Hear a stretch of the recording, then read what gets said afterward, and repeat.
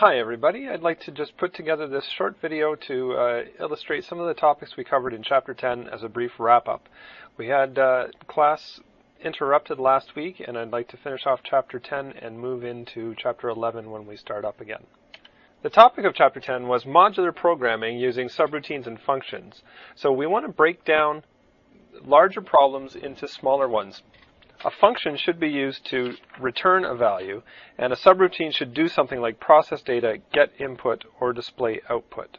You can see in this example where we use module level variables to send information to different subroutines. I have a main subroutine that calls two other subroutines, and I also have indicated a private subroutine, which means it wouldn't be available on the Alt F8 list and could not be run anywhere else except from within this module.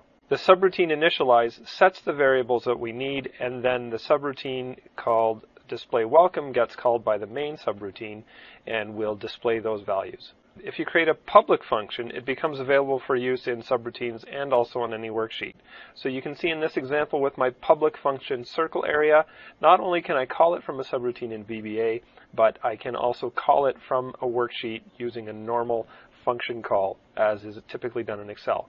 These are called user-defined functions. The chapter also talks about scope, because we can declare variables outside of a subroutine at the module level so that they could, if they were public variables, be accessible to any module, or if we declare them as private, or if we don't declare them at all other than indicating with the keyword dim, then they're private and are only accessible within the current module. So they would be module level variables. In this example, I have three variables. Two of them were private and one is public. Passing arguments is an alternative to using global variables, or some people would consider a module level variable being global. If you declare a variable public, then it's global. So you can see in this example where I have a subroutine which will call a subroutine called display name, which I've made private.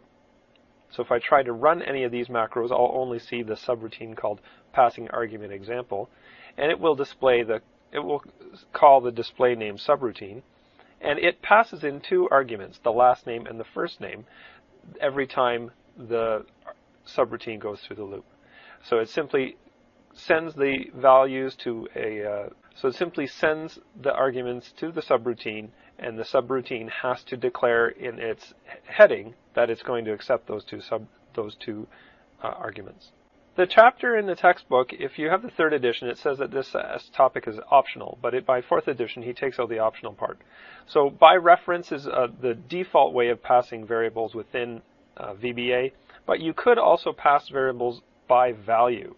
And it is interesting to note that if you move on to programming in Visual Basic.net or Visual Basic 20000 or Visual Basic 2010 rather and uh, higher or 2011 and 2012, then the default values are passed by value instead of by reference. So that comes into consideration. The function that I've displayed here, I actually do pass in values by, uh, I do pass arguments by value, and you can see that this is a private function that would return a string of the first and last name concatenated together with a space in between them. Using by value as the method of passing arguments will guarantee that this function will cannot change the first name and the last name arguments. And in this case, it doesn't attempt to change them. It simply concatenates them together and explain and returns that back out to the calling subroutine. We didn't get a chance to really look at examine functions uh, .xlsm file from chapter 10. I would encourage you to do that. It's got some great applications, especially if you're going to be working with random numbers, which is very important for any kind of uh, modeling or financial analysis. So important to use application.volatile when you want to generate random numbers on a spreadsheet that will recalculate every time something changes, or uh, if you press F9, that will recalculate the spreadsheet for you and then you can use the randomize function to ensure that you'll get a different random number every time you uh, run your subroutine or each time it generates a new number.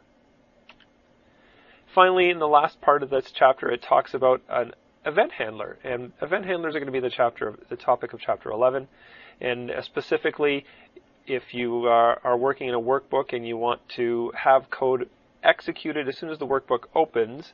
And one of those things typically used in the examples from the textbook are that it displays the explanation worksheet by making it active, which you can see in this subroutine uh, in this code here. Now you can't write the name of this subroutine. You have to uh, simply go into the this workbook object instead of the module and you can choose the different events and you'll find that one of the events is the open event and if you choose the open event then it will automatically insert this subroutine heading for you. And then you just add the code that you need to have executed.